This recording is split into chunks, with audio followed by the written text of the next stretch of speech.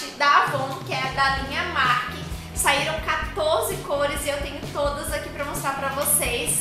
E se vocês gostam desse tipo de vídeo, já deixa logo o seu like, se inscreva no canal se você ainda não é inscrito. Esses batons líquidos mate, ele vem aqui embaixo a cor que é, e aqui vem escrito Mark, batom líquido mate, tem fator de proteção 15 e ele tem 7 ml. E eu gostei bastante desse aplicador, que ele é mais achatadinho e quando a gente tira aqui, ele já sai um pouco do excesso. E isso aqui é suficiente para passar nos lábios, pelo menos os meus não são muito grandes. Ele é suficiente. Olha como ele é diferente, ele é mais achatadinho. E eu vou mostrar pra vocês todas as cores aplicadas nos meus lábios. E depois eu tenho algumas coisinhas pra falar de alguns. Então vamos lá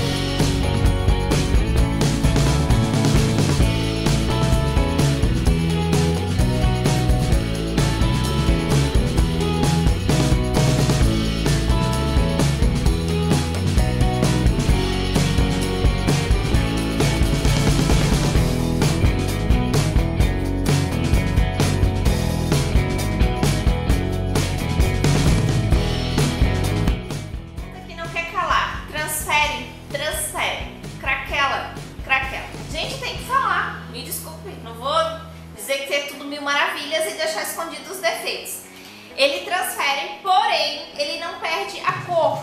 Ele sai um pouco do excesso, mas ele não perde a cor, a cor continua bem forte na boca. E um ponto super positivo é isso, é a pigmentação. Praticamente todos têm uma, pigmentação bem forte, só alguns ali que eu vou listar pra vocês que são exceções, mas eles são super pigmentados. E ele craquela assim conforme vai passando o tempo que você vai usando ele vai dando uma craquelada.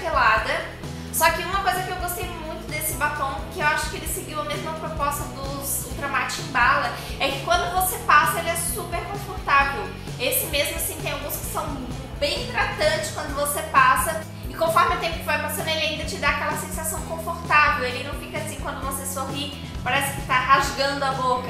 Então ele fica bem confortável, só que com o aspecto, para quem olha, ele tá sequinho, mas conforme vai passando ele dá uma leve craquelada assim. Gente, eu vou falar isso que é com a minha experiência, eu não testei em outras pessoas, eu testei só em mim, eu comprei pra mim, pra mim testar e pra mim usar. E esses três aqui, que é o vinho, o carmim e o violeta, eu achei que ele mancha na hora de passar. O carmim até menos, mas o violeta e o vinho sim mancha bastante sim conforme você vai passando, então não pode esfregar muito Muitas vezes o aplicador tem que passar rapidinho porque ele dá uma manchada conforme você vai passando. Desse rosa claro e o nude, o que eu tenho a falar é que eles não combinaram com o meu tom de pele. Eu acho que não combinou, não ficou legal em mim. Talvez alguém que tenha o mesmo tom de